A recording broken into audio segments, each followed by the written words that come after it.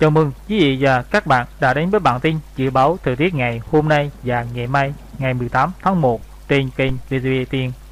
Thưa quý vị và các bạn, đêm qua và sáng nay là thời điểm rãnh gió Tây hoạt động mạnh nhất. Cùng lúc đó, một khối không khí lạnh mới lại tăng cường xuống nước ta, tương tác với nhau tạo ra một đợt mưa vừa mưa to diện rộng ở Bắc Bộ.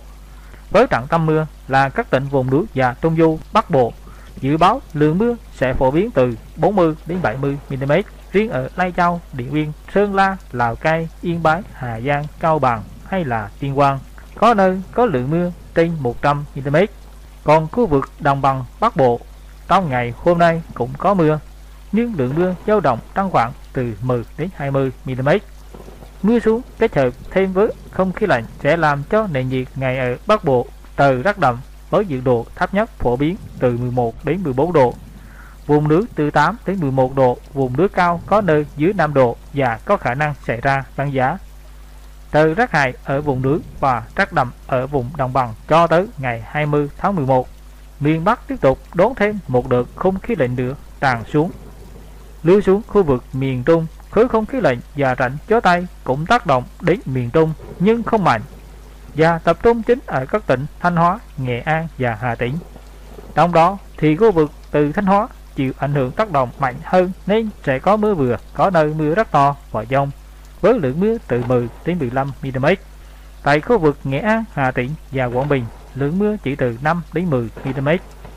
Thì nền nhiệt miền Trung trong ngày ở Thanh Hóa đến Hà Tĩnh nhiệt độ từ 17 đến 20 độ trời rát bốt.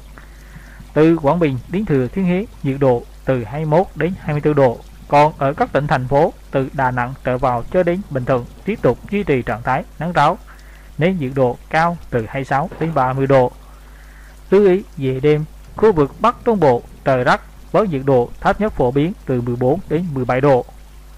Lưu xuống khu vực phía Nam, hai khu vực Tây Nguyên và Nam Bộ với thời tiết nắng ráo. Nhiệt độ cao nhất trong ngày ở khu vực Tây Nguyên sẽ dao động trong khoảng từ 28 đến 31 độ.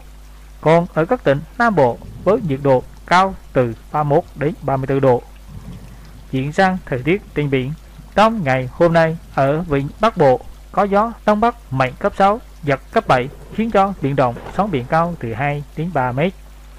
Từ đêm nay và ngày mai, khu vực Bắc Biển Đông bao gồm cả vùng biển huyền đảo Hàng Sa, vùng biển từ Quảng Trị đến Quảng Ngãi từ Khánh Hòa đến Cà Mau và vùng biển phía Tây khu vực Nam Biển Đông, bao gồm cả vùng biển phía Tây huyện đảo Trường Sa có gió Đông Bắc mạnh cấp 6, giật cấp 7, cấp 8, khiến cho biển động, sóng biển cao từ 2 đến 4 mét. Cảm ơn quý vị và các bạn đã dành thời gian theo dõi. Thân ái, chào tạm biệt và hẹn gặp lại quý vị trong những bản tin tiếp theo.